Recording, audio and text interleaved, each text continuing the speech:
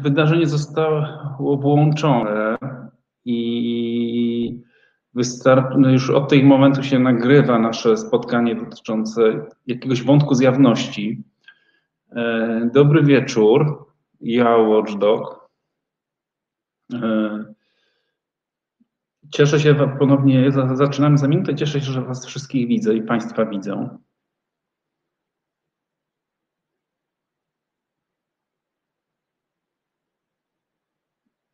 Dobry wieczór, Przemysławie. Dobry wieczór, Przemku. Generalnie cieszę się, że nastroje nie upadają.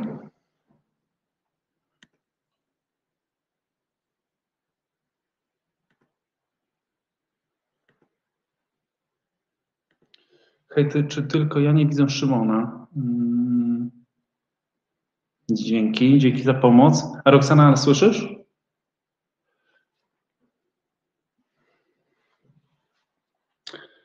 Słuchajcie, dobrze, jest godzina 20. E, cieszę się, e, że spotykamy się na kolejnym webinarium organizowanym przez Sieć Obywatelską Uldok Polska. Nie będę zdradzał, e, co planujemy dalej, ale nie jest to nasze ostatnie webinarium. I to mnie cieszy, że jest duża chęć do tego, żeby w ten sposób się spotykać i posłuchać, czy podzielić się wiedzą w zakresie różnych praw, w tym prawa do informacji, w tej chwili potrzebowałbym e, pomocy, bo nie ustaliliśmy tego przed. Kto mi pomoże i kogo ustawić do współprowadzenia? Dobra, dzięki Katarzyna. Już Cię przedstawiam Cię do roli prezenterki.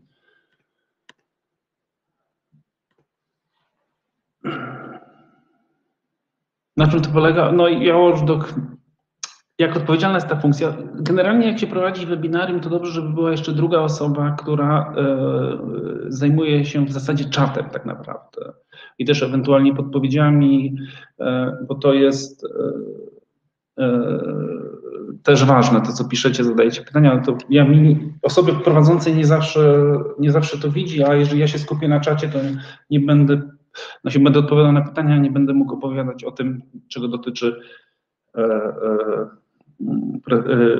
dzisiejsze spotkanie webinaryjne. E, dobrze, to tyle początkiem troszkę rozluźnienia atmosfery i też myślenia o tym, e, co się dzieje. Więc tak, dzisiejsze spotkanie dotyczy trochę zagadnienia obok, albo jednego z ważniejszych, jeżeli dotyczy prawa do informacji, to jest odpowiedzialności karnej. To jest temat i może można powiedzieć i długi, i szeroki, ale też temat, e, mm, który trochę też nie, nie występuje, bo osoby, które zajmują się prawem do informacji, czasami się zdarza, że korzystają z odpowiedzialności karnej, o której dzisiaj będzie tutaj mowa, przez internet będę mówił.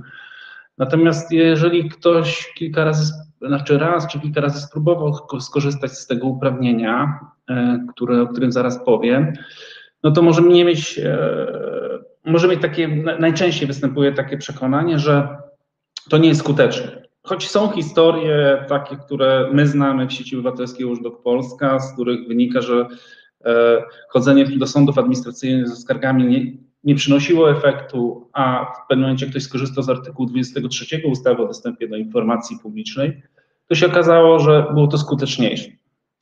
Ja mam takie wrażenie, że ta odpowiedzialność karna jest trochę mityczna, ale nie zawsze, o czym też dzisiaj powiem. Ona, ona, ona, ona się dzieje. I to jest jakby kwestia e, też zastanawiania się, po co ona jest. Ja trochę dzisiaj o tym opowiem pod względem formalnym, e, kiedy może dochodzić do tej odpowiedzialności karnej. Z dwóch, trzech orzeczeń e, sądów pokażę, jakby, jak to jest rozumiane też, ta odpowiedzialność karna. Natomiast Trzeba jakby pamiętać o tym. W ustawie o dostępie do informacji publicznej jest artykuł 23, który jest i dosyć krótki i prosty, że kto nie udostępnia informacji publicznej, a jest ten obowiązek jej udostępnienia, e, podlega karze grzywnych, karze ograniczenia wolności albo karze pozbawienia wolności do roku. Zatem mamy przepis karny. Nie dajesz informacji publicznej, a jest obowiązek udostępnienia, to możesz podlegać odpowiedzialności karnej. No i w zasadzie to jest jakby pod tym względem dosyć proste. Natomiast no, ja tutaj akurat do prezentacji nie wgrywałem, ale polecam na stronie informacjapubliczna.org taki tekst który przygotowywał Mateusz Bogucki i ja po trochę, dotyczący analizy e, postępowań karnych, dotyczących e, właśnie tego artykułu, który jest teraz wyświetlony i takiego zebrania trochę statystyk. Jest, I jest tam pewna analiza, e, niepewna, ale jest tam analiza, która pokazuje, ile było tych orzeczeń, jak to zapadało, że z tego tak naprawdę niedużo, to jest bardzo ważne, niedużo. Kilka spraw takich ważniejszych, E, czy nie, jakby w takich, w których my się zaangażowaliśmy, to ja jeszcze trochę o nich opowiem.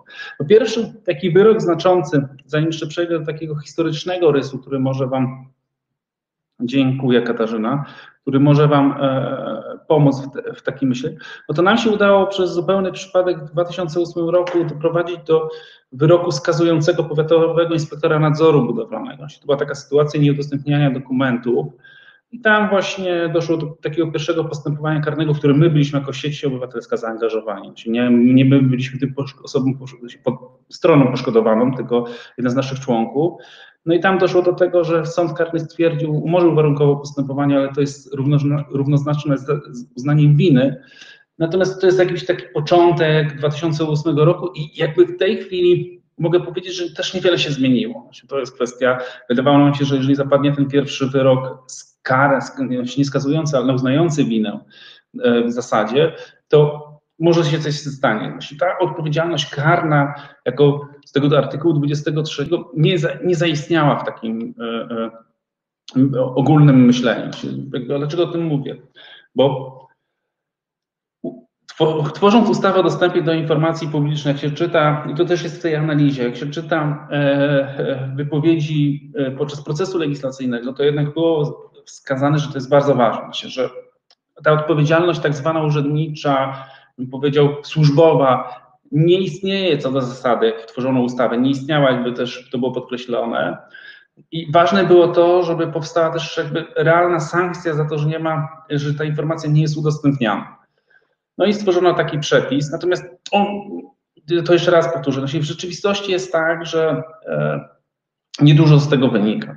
Mamy tak dosyć silną odpowiedzialność karną za nieudostępnianie informacji, natomiast no, ona nie funkcjonuje z różnych przyczyn. To o tym jeszcze będę mówił, ale no, coś z nią jest nie tak. No, to jest pytanie tak naprawdę o to i też jest ważne, będziemy też pokazywali za jakiś czas, no, nie, nie wiem czy w tym roku, ale też najnowsze analizy dotyczące orzecznictwa, dotyczącego odpowiedzialności karnej za nieudostępnienie informacji publicznej, więc Zobaczymy, jak to jest. Natomiast na dziś można powiedzieć, że tych wyroków nie, nie ma dużo, a jeżeli chodzi o zgłaszanie, to o, o podejście prokuratury do tego, no to też ono nie jest jakimś takie, że to jest ważne uprawnienie, należy je chronić. Ale z takiego punktu widzenia, jak się zajmujecie, czy Państwo się zajmują dostępem do informacji publicznej, to jest bardzo ważne pokazanie, jak był, jak, jaki był zamysł, jak tworzono tę, odpowiedzialność karną. Znaczy, można byłoby powiedzieć na dziś, że E, tak nostalgicznie, że szkoda, że te przepisy, które projektowano, projektowano nie są w kształcie czy w brzmieniu takim, jak, e, jak na początku wymyślano. I zaraz przełączę ten slajd, ale dlaczego tak, tak, taki wstęp? Dlatego, że e, osoby, które zajmują się dostępem do znaczy nie zajmują się w sensie, nie wiem, poglądowo, tylko korzystają z prawa do informacji i mają kłopoty z uzyskaniem tej informacji, wielokrotnie nie mają skutecznego narzędzia chroniącego tego ich prawa.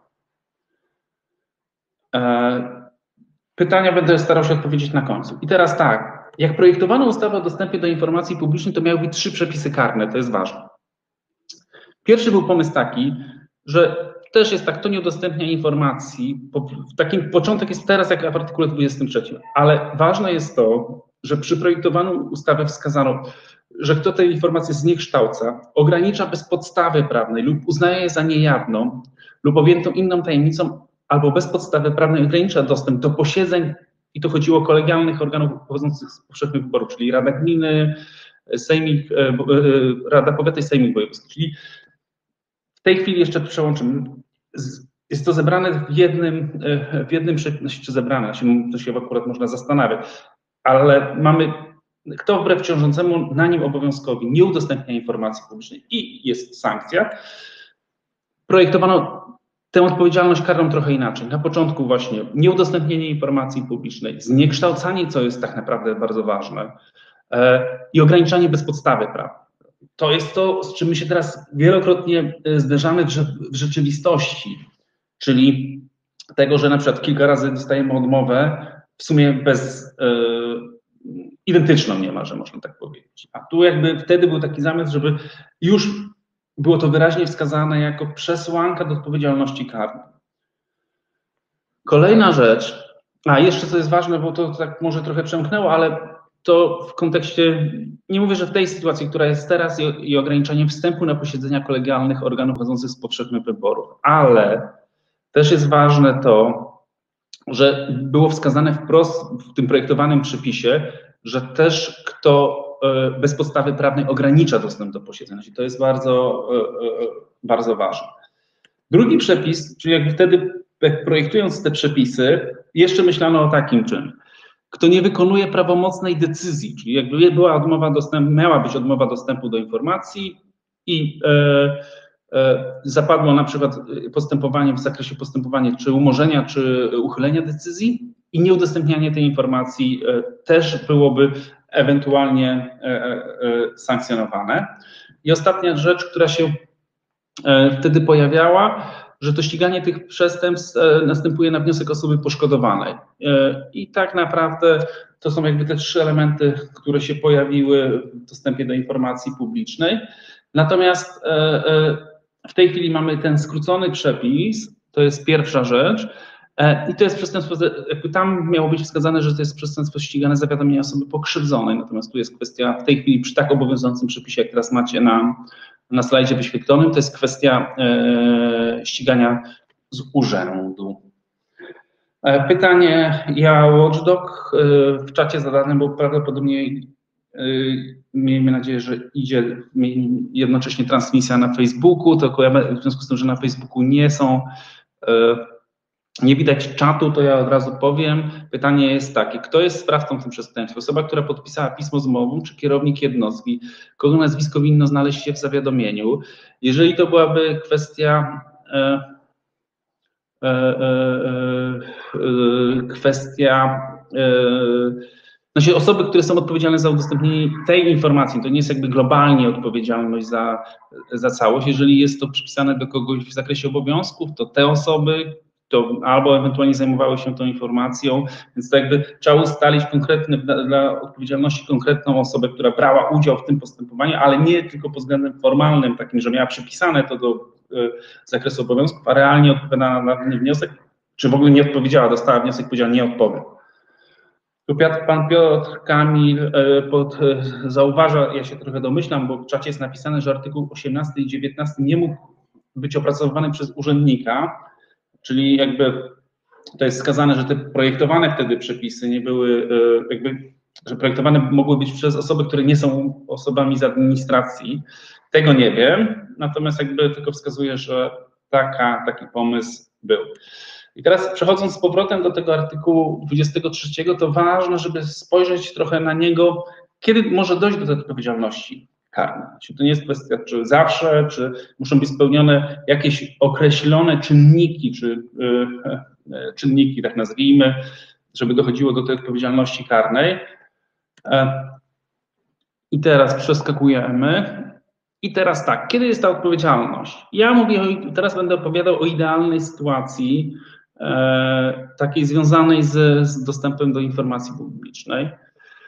Pierwsza, pierwsza rzecz jest taka, że istnieje obowiązek udostępnienia informacji w znaczeniu podmiotowym. Tu będą się pojawiały trudniejsze, nie, nawet nie trudniejsze, formalne wyrazy, jakiekolwiek nazwać. Nie ma to znaczenia. Ja będę się starał opowiadać o co chodzi. Czyli pierwsza, pierwsza, pierwszą rzecz, która musi się spełnić, to jest to, czy ten, do którego złożyliśmy wniosek, a nie odpowiedział, czy, uporczywi, czy odmawia dostępu bez, e, bez podstawy, a wiesz, znaczy to musi być podmiot, tak zwany podmiot zobowiązany.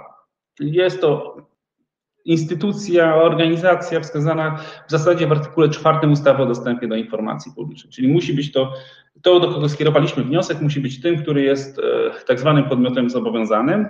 Tu za, e, polecam sięgnięcie do artykułu 4 e, ustawy o dostępie do informacji publicznej. I teraz, bo to, aha, jeszcze to, to czasami jak e, e, Państwo czytają wyroki, czy w ogóle jakieś rzeczy związane z dostępem do informacji publicznej, to się właśnie pojawia takie właśnie podmiotowe i przedmiotowe znaczenie. No to, to podmiotowe znaczenie, że jest się tym, który musi odpowiadać na wnioski, a teraz jest przedmiotowe. Przedmiotowe jest też dosyć łatwe, czyli ta odpowiedzialność to też jest związane z, z tym, żeby mogło, można było mówić o odpowiedzialności karnej. Pierwsza rzecz to jest, że informacja, której dotyczył wniosek, musi dotyczyć informacji publicznej. Czyli tekst tej informacji, o której stanowi artykuł 60 e, e, pierwszy Konstytucji, zatem musi być to informacja związana z działalnością danego podmiotu. podmiotu. Drugi ważny element to jest to, żeby w ogóle mówić o odpowiedzialności karnej w dostępie do informacji publicznej, to jest to, że ten, do którego skierowaliśmy wniosek, musi być w jej posiadaniu. To jest ten drugi element e, dotyczący ewentualnej odpowiedzialności za, za dostęp do informacji. E, no i to jest to, żeby ta informacja nie było, nie było w biuletynie informacji publicznej, czyli nie jest ogólnie dostępna. Muszą być takie podstawowe rzeczy. No trochę to co wynika też z ustawy o dostępie do informacji publicznej. Jest podmiot zobowiązany, e, e, informacja musi być informacją publiczną, w zasadzie każda informacja, to jest najłatwiej spełnić to kryterium, nie jest udostępniona w biuletynie informacji publicznej. E, kolejna rzecz, e, żeby mówić o odpowiedzialności karnej, to jest bardzo ważne, bo to w postępowaniu musi być badane, jeżeli chodzi o odpowiedzialność karną, to czy nie ma innych reguł dostępu do informacji, e, czyli inne ustawy nie regulują tego dostępu i to nieudostępnienie informacji nie jest jakby, nie wynika ze złej woli, czy, ale wyłącznie z tego, że są inne przepisy, które regulują dostęp do, do, do tej informacji. I co jest ważne, kolejna to jest, że te informacje nie podlegają ograniczeniu, czyli nie ma żadnych przesłanek, żeby wyłączyć ich, ich jawność. To jest, to, to jest ważne. Czyli muszę, te kryteria jakby, to jest kryterium wstępu, tak bym powiedział tak naprawdę, czyli e, e, od tego momentu tak naprawdę, jeżeli w czystej takiej sprawie e, musi odpowiadać, ma informacje, nie ma jej udostępnionej, nie istnieją inne tryby i nie istnieje ograniczenie. Oczywiście my z tego punktu widzenia tej odpowiedzialności karnej, która jest e, hmm, określona w tym artykule 23, my się nie musimy e, zastanawiać nad tymi wszystkimi punktami, bo jeżeli uznajemy, że naszym zdaniem no, nie zgadzamy się z tym, co robi dany podmiot zobowiązany i uważamy, że istnieje w naszym subiektywnym przekonaniu obowiązek udostępnienia tej informacji, e, no to tak czy inaczej możemy złożyć zawiadomienie o popełnieniu przestępstwa. To nie jest kwestia taka, że my musimy się teraz dokładnie nad tym zastanawiać, ale e, wracając też trochę do początku, co ja powiedziałem, do, tego, do tej kwestii, że mm, nie za dużo czy nie, nie, nie chciał, no chyba użyję tego słowa, może nie ma aż tak dużej chęci w organach ścigania szeroko rozumianych, żeby zajmować się tego typu przestępstwami, to im lepiej, lepiej, był, lepiej jest kierować sprawy, e, czy jakby sygnalizować popełnienie przestępstwa w dosyć czystych sytuacjach. Czyli, że w sytuacjach, w których e, nie zachodzą jakieś wątpliwości interpretacyjne. Oczywiście ja wiem, że w tej chwili, czy zdaję sobie z tego sprawę, że dużo e, spraw e, może, czy dużo jakby ze względu na to, co robią podmioty zobowiązane, czy jak tłumaczą e, nieudostępnienie informacji publicznej, że w zasadzie może się wydawać, że każda sprawa jest trudna, w sensie, że budzi wątpliwości interpretacyjne, no ale to też tak nie jest. Znaczy, to też nie jest tak. Natomiast ważne, żeby, jeżeli mamy taką sprawę, w której, nie wiem, jest jest dużo, nawet w takim naszym poczuciu, czy moim poczuciu byłoby, że rzeczywiście nie jest jasne i ten organ nie wie do końca, jak się zachować, bo na przykład orzecznictwo sądów administracyjnych jest e, e, e, e, e różne, bym tak powiedział, w tym zakresie, no to wtedy nie będzie taki czysty przypadek. Też, no, jeżeli złożymy takie zawiadomienie o popełnieniu przestępstwa, a prokuratura nie będzie dobrze wiedziała, e, nie będzie wiedziała też, jak do końca postępować, no bo to nie będzie typowa sprawa dla prokuratury. Nikogo to nie usprawiedliwia, ale to też trzeba brać pod uwagę, żeby później nie przyjmować takiego twierdzenia, nie, bo ta odpowiedzialność karna nie istnieje. Ona też powinna być, jeżeli, to też będę dalej mówił o odpowiedzialności. Dobra, i dalej mamy kolejne rzeczy. Jeżeli, e, e, e, to jeżeli chodzi o samo zachowanie tego podmiotu zobowiązanego, to też trzeba pamiętać, że ta odpowiedzialność będzie zachodziła, kiedy podmiot zobowiązany milczy, jak już chodzi o, o, o, o kolejne jakby, sto, jakby kwestie odpowiedzialności. Wpływa wniosek, składamy wniosek, milczy, no i teraz jest kwestia, to byłaby też najłatwiejsza trochę sytuacja, poza tymi kwestiami, że wpadło do spamu, co też się często zdarza, no ale e, e, e, więc tutaj jest kwestia. Druga jest kwestia to, Mamy prawomocny wyrok nakazujący udostępnienie i to jest taka sytuacja, która ostatnio była też głośna politycznie. To jest kwestia list e, e, poparcia dla KRS-u. Ja tam jakby nie odłożę na bok te kwestie związane z działalnością później prezesa Urzędu Ochrony Danych Osobowych, ale to była taka właśnie sytuacja, w której e, była skarga na decyzję odmowną udostępnienia informacji publicznej i Naczelny Sąd Administracyjny wydał ostateczny i prawomocny wyrok w zakresie tych list e, poparcia do KRS-u i wskazał, że one powinny być jawne. Zatem mieliśmy prawomocny wyrok i on był niewykonany. E, I tu rzeczywiście zachodzi, to jest taki przypadek e, drugi w tej chwili na slajdzie, czyli mamy prawomocny wyrok nakazujący udostępnienie informacji. O tyle to jest ważne, żeby pamiętać, że mamy dwa rodzaje wyroków w dostępie do informacji publicznej. Pierwszy to będzie wyrok na bezczynność, a drugi to kwestia wyroków, które zapadają e, na decyzje administracyjne. Dlaczego to jest ważne w kontekście tej odpowiedzialności karnej? Dlatego, że w sprawach, które dotyczą bezczynności w dostępie do informacji publicznej, e, jeżeli mamy sprawę bezczynności, to co do zasady sąd w tych postępowaniach nie powinien się wypowiedzieć co do E, zasadności udostępnienia informacji. No może rozważać bezczynności, czy to jest informacja publiczna, czy nie, ale jakby w takim, w czystym takim postępowaniu w skardze na bezczynność, w której możemy na przykład kwestionować, że coś nie jest, dostaliśmy informację, że coś nie jest informacją publiczną, czy e, nie dostaliśmy pełnej odpowiedzi, to sąd w zasadzie powinien oceniać właśnie ten zakres wykonania wniosku, natomiast nie tego, czy informacja ma być udostępniona, czy nie. Więc jeżeli mamy wyrok ze skargi na bezczynność, to, do zasady nie będzie zachodziła ta druga przesłanka tutaj tej odpowiedzialności karnej. Natomiast jeżeli mamy skargę na decyzję, czyli na decyzję, od, na decyzję odmawiającą dostępu do informacji e, i, i, sąd merytorycznie rozpatrzy taką sprawę e, i będziemy mieli prawomocny wyrok, na przykład dostaliśmy odmowę udostępnienia, dziękuję Piotrze, czy Panie Piotrze, literki mają to, że czasami ten, u nas w alfabecie naprawdę występują dwa razy, występuje dwa razy literka B. No, jakby troszkę nasz alfabet się różni w tej części Polski. Ale dziękuję za sugestię, poprawiam. E, jeżeli mielibyśmy wyrok, e, wyrok, skazy, wyrok sądu administracyjnego na decyzję, w której e, byłoby, że sąd rozpatrzył merytorycznie taką sprawę i uznał, że przesłanka odmowy dostępu do informacji jest niezasadna w tym wypadku, w tej sprawie. Wyrok się uprawomocnił, akta wracają do e, podmiotu zobowiązanego, on tego nie wykonuje. E, e, nie wykonuje, no to byłoby rzeczywiście odpowiedzialność karna.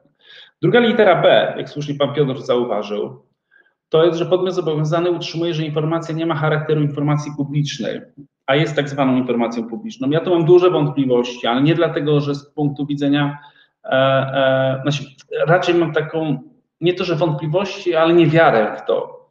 E, dlatego, że przy tak e, rozchwianym orzecznictwie sądów administracyjnych, co jest informacją publiczną, a co nie, to w zasadzie można powiedzieć, że ten, do którego wpłynął wniosek, jak będzie twierdził w taki, a nie inny sposób, że coś nie jest informacją publiczną, to zna, znajdzie na to poparcie w orzecznictwie i to jest ten kłopot w takim zakresie. Jakby tej, czy powiedzieć, że okej, okay, mi oni mi odpisują, że to nie jest informacja publiczna, a ja tam uważam, że to jest i to jest grande, znaczy to jest przestępstwo. Można było powiedzieć kolokwialnie, to tak nie będzie. Znaczy, tu jakby przy tym, co się wydarzyło z orzecznictwem sądów administracyjnych, to będzie duży e, kłopot.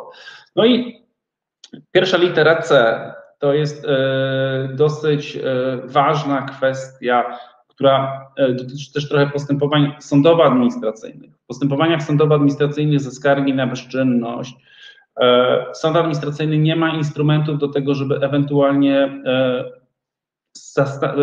próbować dochodzić, czy dany organ ma informację publiczną, czy jej nie ma. Jak, jak podmiot wpływa wniosek, a ktoś nam oświadczenie ma.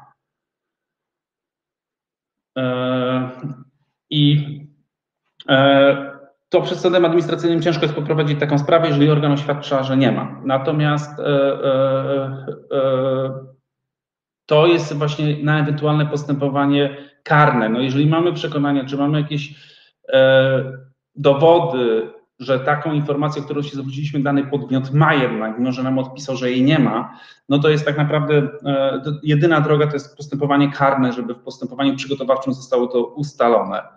E, I to jest jakby też trochę podpowiedź na tym, co robić, jak mi twierdzą, że co robić, jak twierdzą, że nie mamy informacji, a, a, a nam jesteśmy przekonani, że mają daną informację. I to jest jakby kwestia ważna.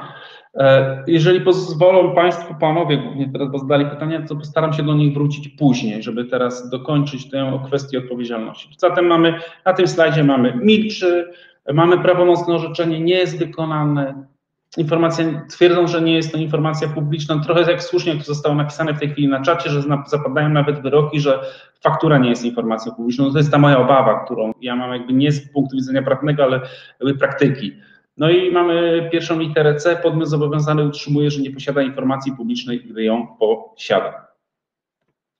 No i idziemy dalej, jakby zastanawiamy się, e, e, kiedy jeszcze to są przypadki takie, które należy zaznaczać.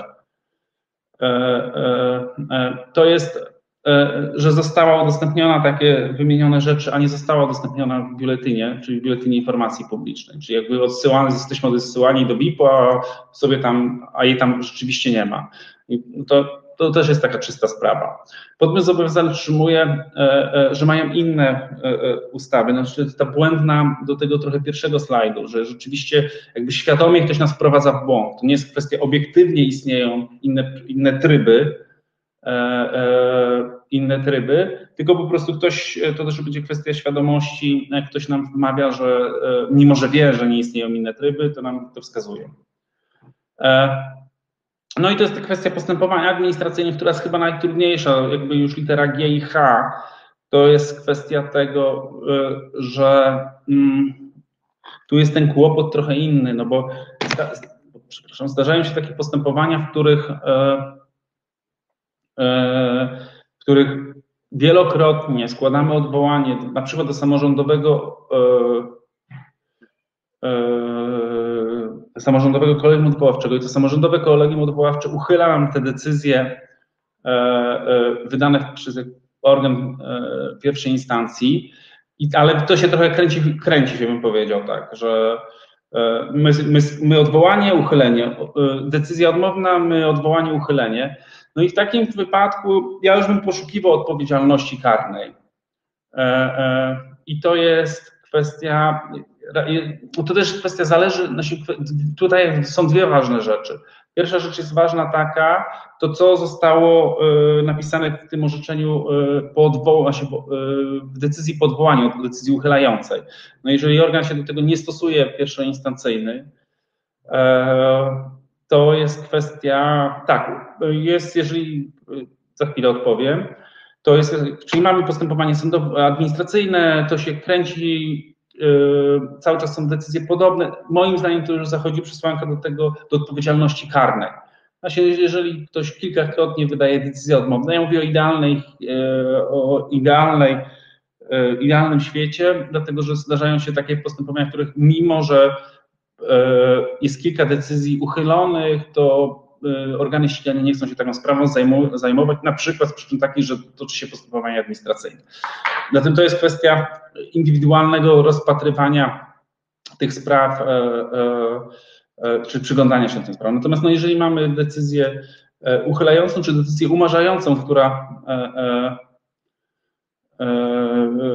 decyzję, bo mamy, możemy mieć dwie decyzje. Decyzję uchylającą, jeżeli złożymy odwołanie, bo decyzję umarzającą postępowanie w przedmiocie odmowy dostępu do informacji publicznej. To drugie postępowanie rzadko występuje, bo tego E, nie chcą stosować e, najczęściej samorządowe kolegia odwoławcze i to jest kwestia taka, że jeżeli by nastąpiło umorzenie postępowania w zakresie odmowy, to mamy czystą sytuację, że trzeba taki wniosek wykonać.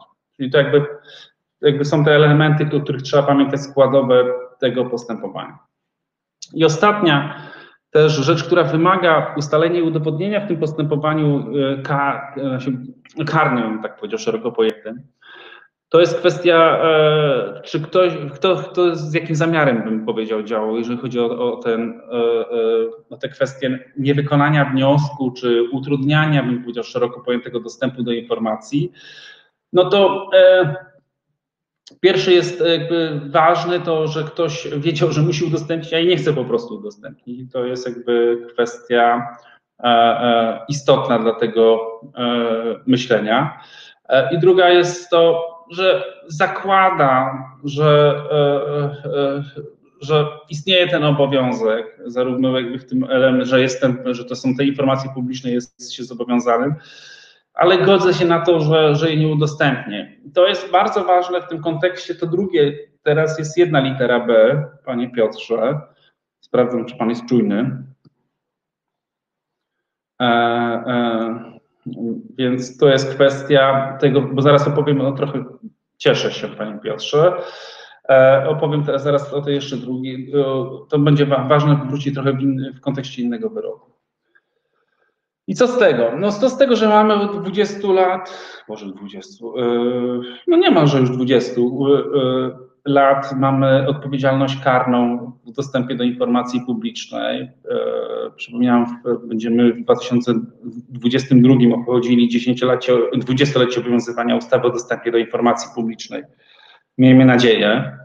E, no jest mało wyroków. Znaczy, tych wyroków nie jest dużo. Nie mamy danych, ja nie mam danych aktualnych na, na, na ten rok, jeżeli chodzi o, o wyroki. To też nie jest kwestia liczby tak naprawdę E, a może jest liczby. No to jest kwestia różnego podejścia do tego. E, natomiast no, wydaje mi się, że najtrudniejszą kwestią, jeżeli chodzi o tą liczbę wyroków, to są jakby problem, który się problem, który się pojawia, to są właśnie te dwa elementy. Pierwsze to jest to, że odpowiedzialność karna za nieudostępnienie informacji publicznej wbrew ciążącemu obowiązkowi jest E, sprawą marginalną, bym tak powiedział. Oczywiście nie pracuję w prokuraturze, nie jestem prokuratorem. E, natomiast wydaje mi się, że w tym wachlarzu spraw, które się pojawiają, pojawiają w organach ścigania, e, to to, że ktoś nie dostał przysłowiowej faktury, nie jest tak, przepraszam za to słowo kolokwialne, naganne w, w kontekście. A przy tym, że nawet jeżeli ktoś chciałby i to jest drugi ten element, Wpłynęło to zawiadomienie o popełnieniu przestępstwa i ktoś by się tym e, e, e, chciał zająć, no to jeżeli zacznie czytać wyroki sądów administracyjnych, jak, jak dużo wątpliwości jest do różnych wątków związanych z dostępem do informacji, to może się okazać, że no rzeczywiście nie przypiszemy tego, i znowu kolokwializm, nieświadomości tego złośliwości, bym powiedział, w nieudostępnianiu informacji publicznych.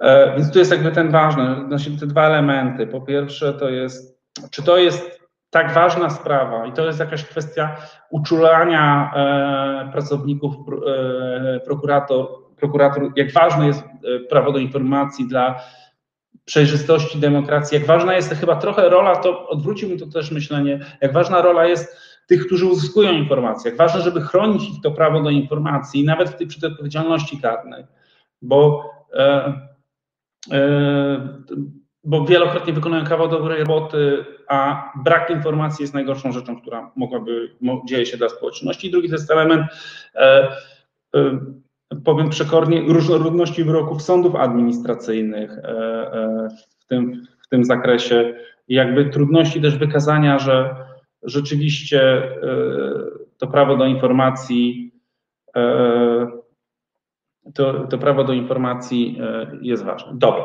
I teraz pokażę, tak żeby też nie zanudzić Was tą kwestiami.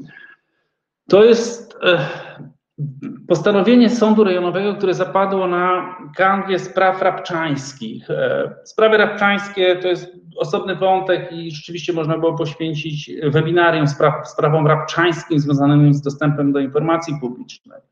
Ale co jest ważne, tam w takim uzasadnieniu postanowienia e, sąd rejonowy napisał, to właśnie to jest ten kontekst, i ja, nie to, że się z tym zgadzam, bo to jest kwestia mojego zgadzania czy nie, ja się też uważam, e, uważam identycznie, e, że tutaj sąd rejonowy powiedział, że dla odpowiedzialności karnej, czy jakby poszukiwania odpowiedzialności karnej nie jest ważne to, czy się wyczerpało drogę administracyjną, czy nie ma jakby tego E, nie jest ważne to, czy skorzystałeś z skargi na bezczynność, czy nie, czy w ogóle poszedłeś do tego sądu, czy poszłeś do tego sądu administracyjnego, a ważne jest to, e, czy w ogóle zachodzi ta odpowiedzialność karna. I to jest jakby e, potencjalna odpowiedzialność karna, czyli te wszystkie elementy, które ja pokazałem, po prostu prokuratora musi zbadać.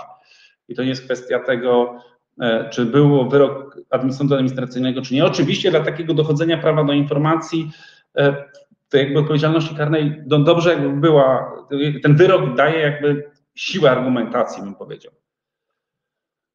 E, I to jest jakby kwestia e, nowego targu. E, tam akurat jest dosyć, dosyć ciekawy jeden wyrok będzie Rabczański ostatni na prezentacji, natomiast jest kwestia taka, że pani burmistrz Ewa Przybyło dwukrotnie była skazana z artykułu 23 ustawy o dostępie do informacji publicznej dwóch osobnych dotyczyło to dwóch jakby osobnych spraw, czyli nie jakby jednej sprawy, tylko dwóch osobnych spraw. Pani burmistrzewa przybyło nie jest już burmistrzem Radki Zdrój, ale rzeczywiście przez długi czas e, dosyć dużo robiła na rzecz tego, żeby nie udostępniać informacji, czy nie podlegać odpowiedzialności karnej. E, I taka e, e, ważna rzecz, jeżeli chodzi o dostęp do informacji publicznej. 2017 rok, Sąd Rejonowy w Radomsku. Ja podaję sygnatury, dlatego że pokażę, później powiem, gdzie są te wszystkie wyroki, bo one są ogólnie dostępne. To nie jest tak, że to jest jakaś wiedza tajemna i jak ktoś sobie będzie chciał poczytać, czego dotyczyła sprawa. Wyroki karne, nasze ustalenia wyroków karnych są ciekawie, no, się, no fajnie je przeczytać, więc to jest, znaczy w sensie nie jest trudno je przeczytać. Nie jest to nużąca, jak tutaj ktoś napisał e, w czacie, że moja prezentacja jest e, nużąca, e, ale to jest kwestia tego, że pokażę, gdzie jest dostęp, wtedy sobie warto to przeczytać. No tutaj jakby pokazuje sąd, jakby odnosi się, że bez znaczenia, przy tym, jeżeli chodzi o te odpowiedzialności karnej, to jest bez znaczenia to e, tryb ten udostępniania, czyli forma udostępniania. Ważne jest to, że nastąpiło zaniechanie e, dostępu do informacji, zaniechanie po stronie podmiotu zobowiązanego, zatem nie wykonuje e, tego. Ja dziękuję, to było naprawdę żartobliwie, teraz odnoszę się dosyć na czacie o nużącej prezentacji, nie odczytałem źle, wiem, ale wywołałem wywołałem. I teraz e, e, pan Maciej pyta na czacie, jaką odpowiedzialność poniosła ta pani burmistrz Radki, głównie polityczną. Jeden z powodów chyba, tak mi się, bo pan pyta o odpowiedzialność karną, a ja od razu będę mówił o odpowiedzialności politycznej, no nie została wybrana na kolejną kadencję. Natomiast linki do wyroków i żeby można było się z tym zapoznać, to udostępnimy po, E, po, po nagraniu e, i będzie można sobie to dokładnie przeczytać. I teraz, jeżeli chodzi o kwestię, e, to jest bez znaczenia i tu jest kwestia, że jeżeli się, żeby pamiętać o tej odpowiedzialności, że to samo zaniechanie powoduje narażenie się na, na, na, na odpowiedzialność. Jakby to jest kwestia ważnego. Dobra, to mamy Radomsko i Dalej podążamy tym, co troszkę z tego też, e, z tej prezentacji. I teraz jest ważna rzecz, to jest kwestia, to też wystąpiło w Rabce, to będzie w ostatnim wyroku rabczańskim, ale e, w tym na prezentacji, ale to jest kwestia ważną rzecz odniesienia się do, e, do osoby, która jest tą osobą oskarżoną. I tutaj sąd wskazuje, o, jednej, e, o jedną ważną rzecz. Jeszcze raz należy powtórzyć, że oskarżony jest doświadczonym samorządowcem, który zdołał już dobrze poznać procedurę udzielania informacji publicznej. Dzięki Katarzyno e, e, za udostępnianie, za, za ten link i do wskazanie. Czyli jakby to jest bardzo ważna, jakby też, bo zdarzają się akurat w różnych takich wątkach, które ja znam, zdarzają się takie twierdzenia, że no nie wiedziałem, że to tak, albo nie wiedziałam, że to tak, no, że były wątpliwości różnego rodzaju. Natomiast no, tutaj bardzo ważne, e, e, e, że jakby to jest też waż, kwestia tego statusu, bym powiedział, osoby, która nie udostępnia informacji. Przeskakujemy dalej. Kółeczko się kręci kręci. I proszę bardzo. I idziemy. O, to znowu chyba nie ten. Kółeczka się kręcą. Dobra. No i to jest jakby teraz Jelenia Góra 2018 rok. E, e, I to jest jakby ta kwestia świadomości e, tego, o czym ja, ja mówiłem, czyli jakby to jest kwestia przekonania o tym, czy wiedzy o tym, że, że istnieje ten obowiązek udostępniania informacji, czy się na to godzę? No i to jest kwestia ważna, to też powiedziałem, że tutaj jest napisane w tej drugiej części, że zasłaniał się nieświadomością, a sąd właśnie tym postępowaniem karnym musi dokonać wszechstronnej oceny w tym zakresie i to jest jakby kwestia wykazania tego, no to jakby ta, to jakby jest okoliczność badana poprzez poprzez postępowaniu przygotowawczym, później w postępowaniu e, e, Postęp, przepraszam, spojrzałem na czat, e, nie będę patrzył, bo się rozproszę, na końcu będą, postaram się odpowiedzieć na te pytania. Czy jakby jest kwestia, że to też, znaczy to jest jeden z elementów, który jest w procesie, znaczy w, w tym jakby postępowaniu badany. No i jeszcze też znowu odniesienie się do takiego tłumaczenia nie wiem, nie wiedziałem, no to jest jakby sąd e, wskazuje, e, e, bo i to, to ciekawe jest to, co teraz to, co się teraz pojawia. Nawet jeśli nie znał dokładnie procedury zasad udzielania, trybu, to nie stanowiło to żadnej trudności dla niego, by je poznać i zastosować w przedmiotowej sprawie. Czyli to jest jakby ta kwestia myślenia o tym, co się pojawia w, w tym jakby tłum, nie pojawia, ale jakie są powody, dlaczego, jak się tłumaczą określone osoby z tego, że e, nie wiedzą. I to jest jakby też element, że mamy też, dlaczego ja to pokazuję, to jest też w kontekście tych liter i punktów, ale też w kontekście tego, co my na co dzień spotykamy w, w jakby w życiu, no bo w życiu właśnie jakby nie wiem, nie wiedziałem, a tak naprawdę duże wątpliwości, a nie znałem do końca procedury, a zaraz jeszcze powiem o, że ktoś mi mówił, że jednak nie muszę e, w tym e, w, e, w dostępie. No i teraz e, e, idziemy do spraw rabczańskich, mamy nowy targ i to jest dosyć ciekawie, dlatego że tam e, duży wątek był takiej obrony od, na, ten, e, na to, że, e, e, że tam były nie do końca nie były jasne niby przepisy, dwa, że były opinie, trzy, e, że jakby wątpliwości były rozstrzygane na rzecz nieudostępniania informacji.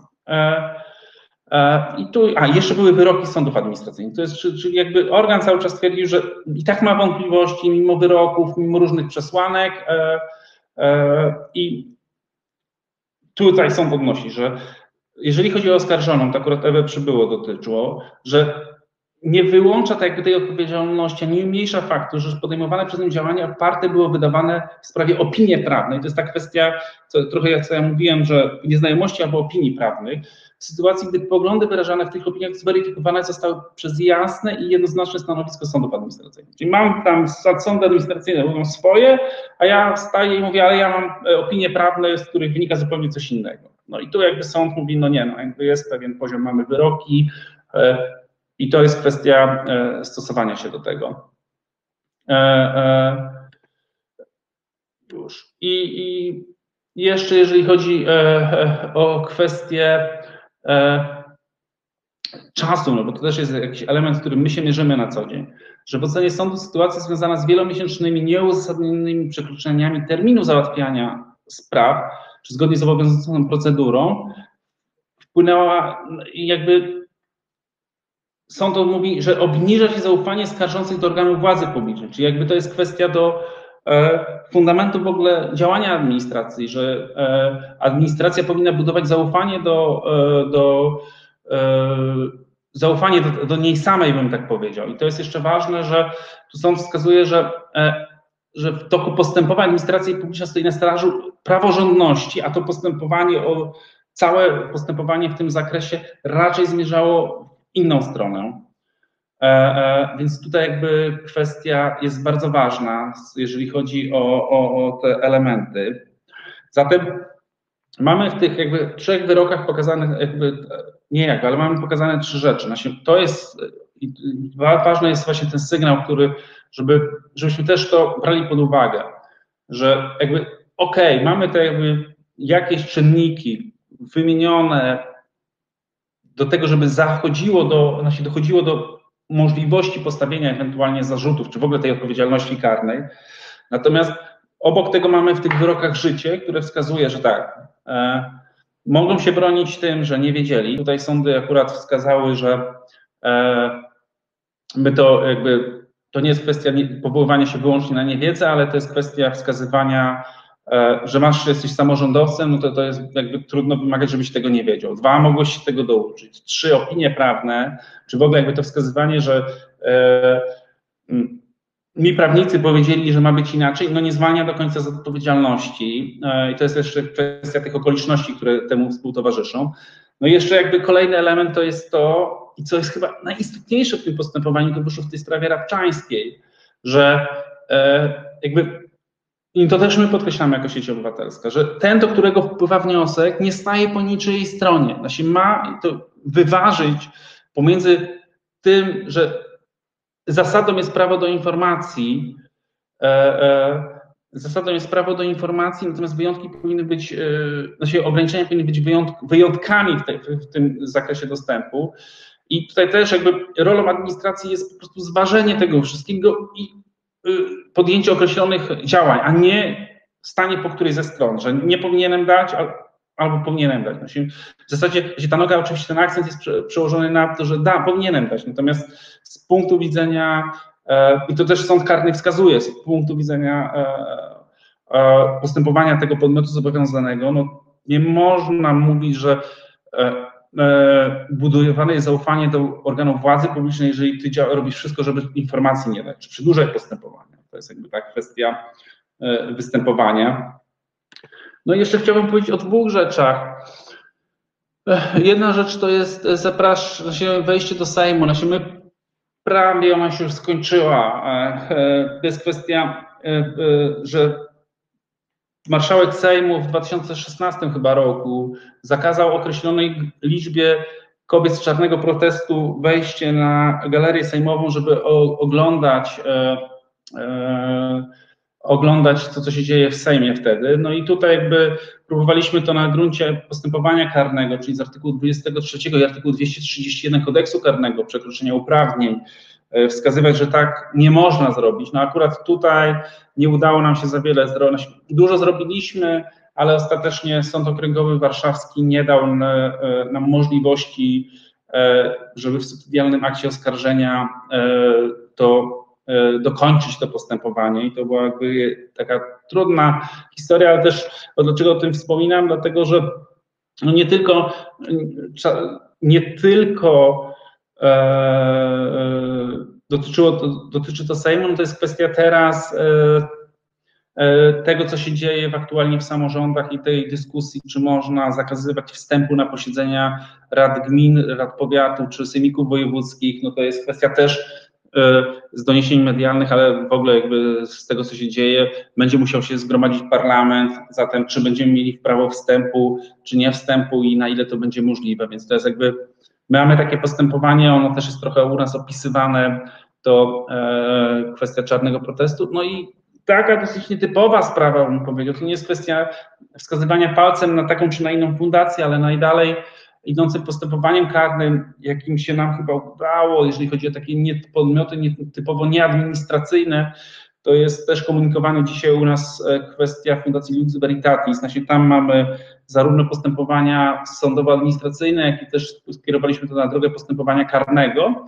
I o tyle to jest ciekawe, że to nie jest podmiot typowo administracyjny, który w pewien sposób w naszej opinii utrudnia ten dostęp do informacji i tak wskazuje, że ta odpowiedzialność karna nie dotyczy wyłącznie administracji, czyli kto nie udostępnia wbrew ciążącemu obowiązkowi informacji, to nie jest tylko kwestia e, administracji, ale to jest również kwestia każdego podmiotu, który jest podmiotem zobowiązanym i oczywiście sieć obywatelska Watchdog Polska, e, która jest również podmiotem zobowiązanym jako e, e, organizacja, która ma środki publiczne. Jeżeli byśmy nie udostępniali informacji publicznej wbrew ciążącemu obowiązkowi, ktoś by nam wykazał, że robimy to e, tak, a nie inaczej, ale rzeczywiście nie powinno tak być, a mając tak dużą świadomość, odwołałbym się do tego wyroku któregoś karnego, mając taką świadomość w zakresie dostępu, byśmy nie tej informacji nie udostępniali, no to rzeczywiście Osoby odpowiedzialne za udostępnianie informacji publicznej w sieci również mogłyby być poddane odpowiedzialności karnej. E, zatem jakby to też jakby ważne, że ta odpowiedzialność karna dotyczy każdego podmiotu, który jest podmiotem zobowiązanym. No i jak jest tą odpowiedzialnością? No, wydaje mi się, że mm, e, e, jest trudno z tą odpowiedzialnością. I tu w takim zakresie E, trudno. Dlatego, do czego ja bym zachęcał, to ja bym zachęcał, żeby jeżeli się decydują Państwo na skierowanie zawiadomienia o popełnieniu przestępstwa, żeby to były sprawy dobrze udokumentowane, to jest raz, a dwa, i to trochę wbrew sobie powiem, żeby to były sprawy, które e, są dosyć czyste, czyli jeżeli chodzi o te kwestie tych punktów, które były na prezentacji, żeby to była albo brak w ogóle odpowiedzi, albo żeby nie było namnożone e, dużych wątpliwości interpretacyjnych, tak zwanych interpretacyjnych. E, no jakby tutaj było odwołanie do faktury, no jeżeli byśmy nie dostali fakturę, jeśli ktoś twierdzi, że to nie jest informacja publiczna, no to taka sprawa już moim zdaniem, to nawet jak są jednostkowe wyroki, że coś nie stanowi informacji publicznej, cała jakby masa orzeczeń sądów administracyjnych wskaz, wskazuje, e, e, e, wskazuje, że są. I teraz to, co ja obiecałem, to spróbuję zrobić jedną ważną rzecz. E, I ja będę tylko. Jeszcze sekundę. Chciałbym tylko zobaczyć, czy mi działa wszystko, że jak przełączę na udostępnianie pulpitu, to żebym wiedział, że to działa. Dobra. Działa, ja sobie tylko przełączę z powrotem. Teraz uwaga. Mm, gdzie tu jest? udostępnianie pulpitu. Będzie mój, pul, pul, mój pulpit, widać, proszę się nie, nie bać. Dobra, i teraz tak, chciałem pokazać, gdzie są te orzeczenia. E, mamy taki powszechny portal orzeczeń sądów powszechnych. To jest bardzo dobre narzędzie, identyczne jak centralna baza orzeczeń sądów administracyjnych. E, e, troszkę inaczej zbudowany ten mechanizm wyszukiwania jest, ale no, ważne jest to, że mamy ten portal sądów powszechnych, czyli wyroki, które zapadają w sądach powszechnych, możemy to badać przez apelację, szukać na mapie. Ja sobie tylko przeklikam, jakbyście napisali, czy widzieliście mapę, jak robiłem. Jakby ktoś napisał szybko tak, to będę, będę mówił dalej. Dobra, dzięki. To przełączam z powrotem. E, I no, trochę najprostsza rzecz. E, wpisuję dostęp do informacji publicznej. Można też zrobić e, rozmiar formularz wyszukania, czyli sobie datę określić, sąd, apelację. Ja tego nie będę określał, gdzie to się dzieje. No i kwestia jest, że sobie można po prostu popatrzeć na wyroki w sądach powszechnych, jakie zapadają. I to jest o tyle ważne, że w tych najnowszych wyrokach będą Państwo, będziecie mieli dostęp znaczy o wyrokach, e, o wyrokach sądów karnych, ale to do 2011 roku sądy powszechne zajmowały się też odmowami w dostępie do informacji publicznej. Zatem możecie znaleźć tutaj też wyroki, które dotyczą e, e, odmowy dostępu do informacji publicznej, czyli na przykład ktoś e, nie udostępnił informacji publicznej i wydał decyzję odmowną, do 2011 roku, jeżeli to na przykład dotyczyło ochrony prywatności, to się zajmowały tym sądy powszechne. I tutaj na przykład otworzymy jakiś wyrok z 2012 roku, czyli jeszcze gdzieś, który się zaczął wcześniej. Zobaczymy, czy on dotyczył e, ochrony dóbr osobistych akurat. No nie dotyczyło dostępu. E, ale proszę.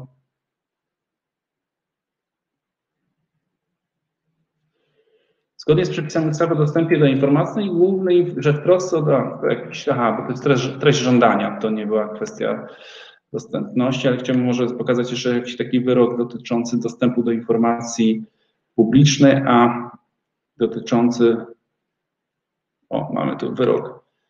Sąd apelacyjny w Warszawie i a też ochronnego procesu. To już nie będę przeklikiwał, wracam. Czyli jak my mamy ten e, portal orzeczeń sądów administracyjnych, można sobie tam uszczegóławiając, e, e, e uszczegóławiając e, kwestie e, dostępu do informacji, poszukać tych wyroków.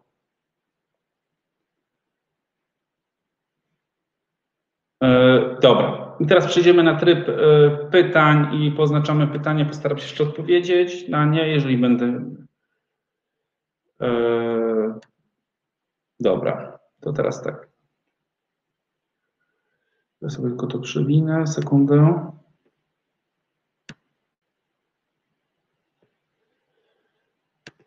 Hmm.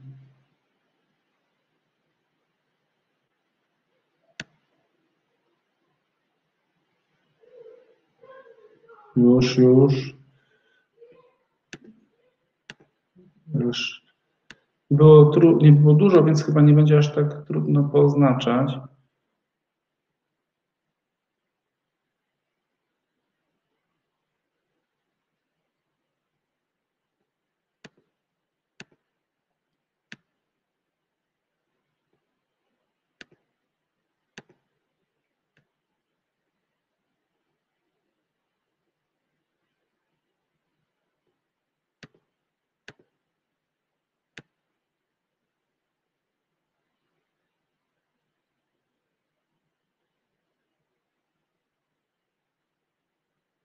Jeszcze ja jestem, jestem, wiem, że nie mówię, tylko chcę szybko przelecieć.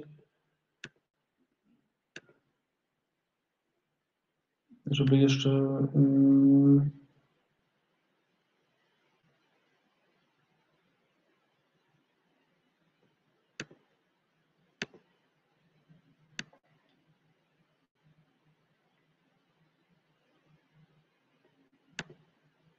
Dobra. Tutaj oznaczam, więc jestem, jestem.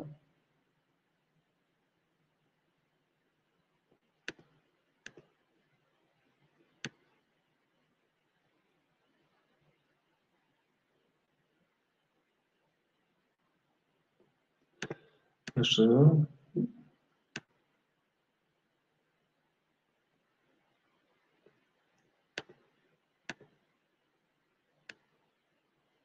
Dobra.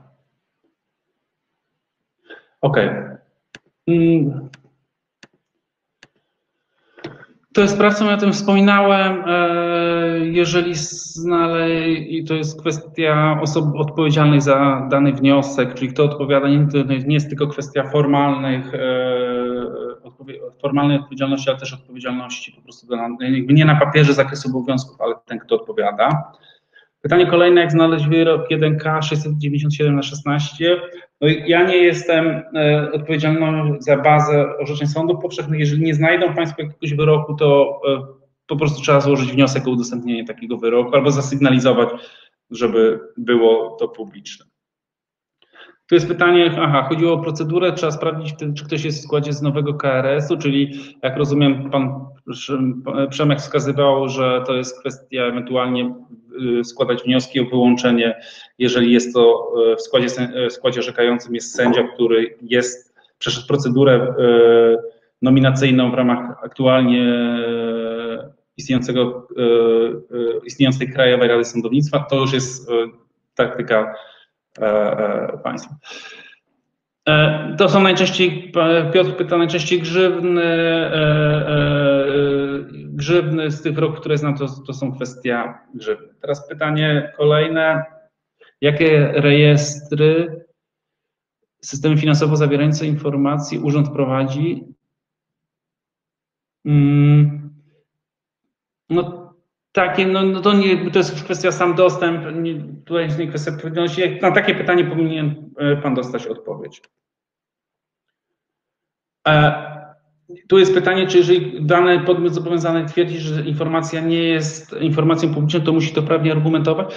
No, w zasadzie nie. No dobrze by było, jakby to było robione, żebyśmy wiedzieli, z czym się spieramy. Bo jeżeli dostaniemy pytanie, że to nie, się że to nie stanowi informacji publicznej, to co do zasady dany podmiot nie ma obowiązku tego uzasadniać, skąd taki pomysł. Ale no, yy, jakby już tylko postulowałbym, żeby takie coś było. Czy jest jakiś wzór pisma na odpowiedzialność karną? U nas też w niektórych tekstach są e, przykłady zawiadomień o popełnieniu przestępstwa, więc sobie można zobaczyć. Po ilu wyrokach sądu administracyjnego wobec organu warto zawiadomić prokuraturę? Nie ma to tak naprawdę znaczenia, czy jakby przejdziemy drogę administracyjną, czy e, jej nie przejdziemy z takiego punktu widzenia. Ważne jest jakby to, głównie to jakby te elementy, czy to jest informacja publiczna, powinna być udostępniona i tak jakby świadomość e, tego, który nie chce jej udostępnić.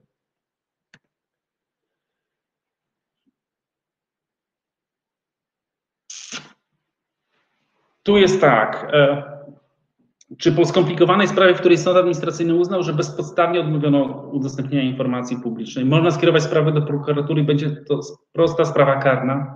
Mam dużą wątpliwość. Jeżeli było tak, że e, na przykład w uzasadnieniu sądów administracyjnych zawarte było w tej sprawie, e, zawarte były też, że sądy jakby wskazują, że jest to, nie jest to taka sprawa oczywista, jasna, czy czegoś takiego, coś podobnego używają, to byłoby trudno.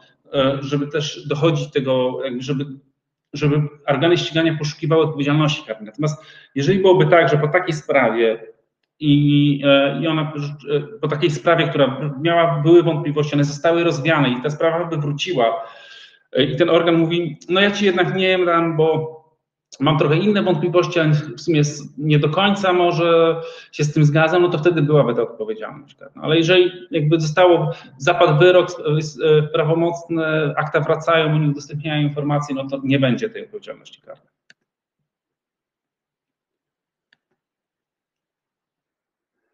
Jeżeli byłaby taka sytuacja, że e, jeżeli mamy wyroki e, sądów administracyjnych w kilku sprawach, E, I teraz jest tak, dwa wątki mi powiedział. Pierwszy wątek to jest, mają kilka wyroków w tym samym, e, dotyczących tej samej sprawy na bezczynność, to tak. Jeżeli jest kilka, w kilku na przykład, mamy pięć wniosków złożyliśmy i wygrywamy e, te sprawy, no to wtedy też, jakby też, ale może być tak, że ta sprawa nie będzie aż tak oczywista, jeżeli mamy kilka spraw rozpoczętych i wygraliśmy. Natomiast jeżeli to jest po prostu systematycznie się powtarza, no to wtedy jak najbardziej musimy. Jeżeli tak jest, że wygraliśmy pięć spraw, składamy kolejne wnioski, znów jest to samo, no to wtedy jak najbardziej. To też jakby trzeba byłoby też przeczytać te, musiałbym, żeby dobrze odpowiedzieć precyzyjnie na to pytanie, to musiałbym znać te wyroki sądów administracyjnych w takim kontekście, czego dotyczyły. Jeżeli pan czy chciałby skonsultować, to jak najbardziej jesteśmy e, otwarci.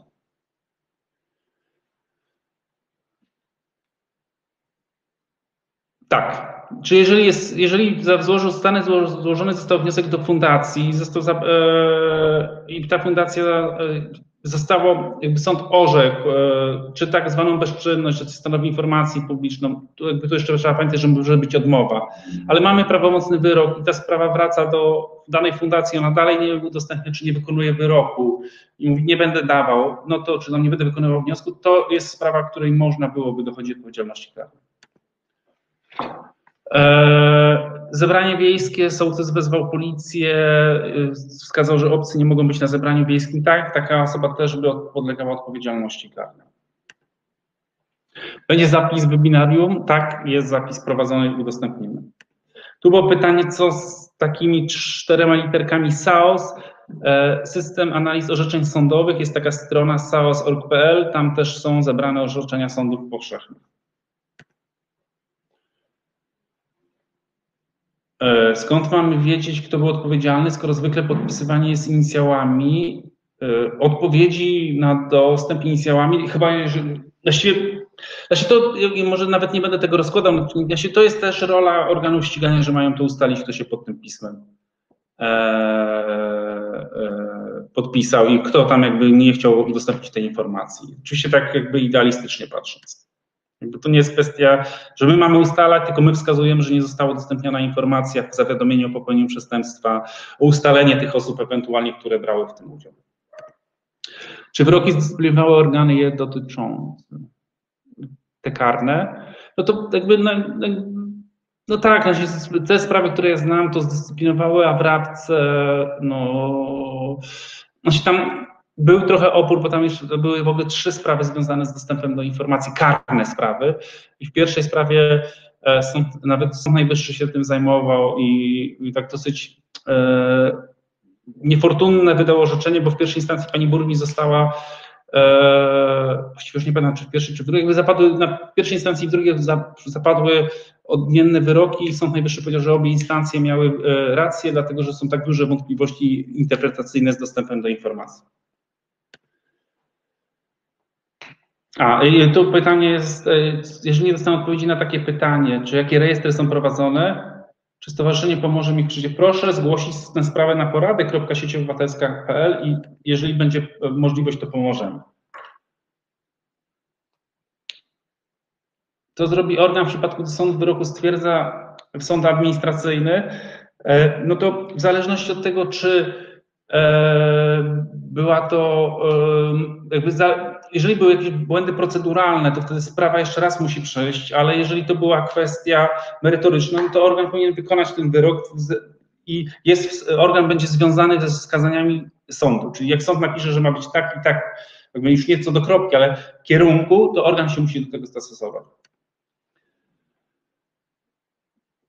Tak, nie wiem czego to dotyczy. Jeżeli to dotyczy tych rejestrów, to prośba, żeby pan to do nas zgłosił na porady, czy pani. Czy jak nadeszła odpowiedź, już nie warto. To, to nie jest kwestia też, czy ta odpowiedź została udzielona, czy nie, no to jest kwestia całego utrudniania dostępu, no bo też jakby, jakby ideą postęp, dostępu do informacji publicznej jest e, szybkość postępowania i w ogóle dostępność informacji, a nie po 100 latach.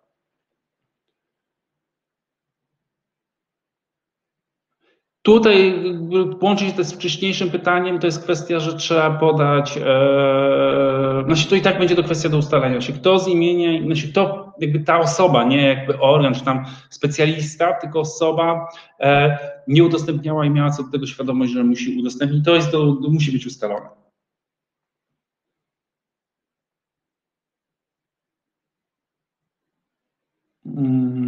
To bardziej rzecznik odpowiedzialności dyscypliny finansów publicznych, ale to ja akurat ciężko mi na to pytanie tak z marszu odpowiedzieć. Dobrze, przełączę się, wyłączę tryb zadawania pytań, przełączę się do czatu. E, gdzie tutaj ten czat jest? Dobra. A jeszcze ostatnio pan Piotr Kamil, jeśli nie wpuszczą na sesję z powodu wirusa, no to nie jest prosta odpowiedź. Też nie chciałbym się w tej chwili, e, ten, znaczy nie, jest, nie może być wyłączona wstępna posiedzenia sesji. Tyle. Jakby nie ma do tego podstawy prawnej, chyba że będzie e, stan wyjątkowy. Jeżeli do momentu, w którym nie ma stanu wyjątkowego, jeżeli jest sesja, to mają być wpuszczone osoby. Jest to wszystko u nas napisane na sieci obywatelska.pl w opinii prawnej, więc zapraszam. Jeszcze raz powiem, porady, y, jeżeli ktoś ma tutaj z tych kwestii wątpliwości, to porady.sieciobywatelska.pl. Dzięki Roxana. Dobrze, to z, mojego, z mojej strony tyle. Pamiętać należy o tych kropkach, punktach i podwójnych literach e, w prezentacji, jakby poszukiwania tej drogi, żeby też, jeżeli się decyduje na drogę karną, to żeby e, dobrze przedstawić te argumenty, czy jest to podmiot zobowiązany, ma informacje, e, w zasadzie ograniczenia tu się nie stosuje, czy inne tryby. Nawet jak ktoś tam twierdzi inaczej, no to jest jasne, że, że, że nie. Nie powiemy, o czym są kolejne webinaria, będziemy ogłaszali, zachęcamy. E, Katarzyna już napisała. Czwartek, e, artykuł 212, jeżeli się dobrze nie mylę. Tak, znaczy myślimy teraz o wolności wypowiedzi i artykule 212, czwartek, godzina 19, będziemy o tym debatować. Się będzie Będziemy, możemy nawet zdradzić, jeżeli się nie mylę, kto będzie prowadził. E, e, prawie na pewno, bo dogrywamy bardzo, bardzo e, tylko już szczegóły Dominika Hawska-Sieniawska z, z, z Helskiej Fundacji Praw Człowieka, więc autorytetka na w tym zakresie, więc jak najwyższej, jak najlepsza wiedza w czwartek o 19, jeżeli chodzi o odpowiedzialność karną z artykułu 212. I tytułem zakończenia to tyle. Tak, tak. I tu jest jeszcze pytanie pana Macieja, że tak, jeżeli mi nie udostępniono informacji publicznej, mimo że był obowiązek, to ja jestem pokrzywdzonym, jeżeli e, prokuratura nie chciałaby się tym zająć, wydałaby decyzję umarzającą lub odmowną, to my mamy prawo do złożenia zażalenia do sądu. Bardzo dziękuję. Dobranoc, życzę dobrego wieczoru. Ja już sobie kamerę wyłączam, a wy i Państwo sobie możecie głos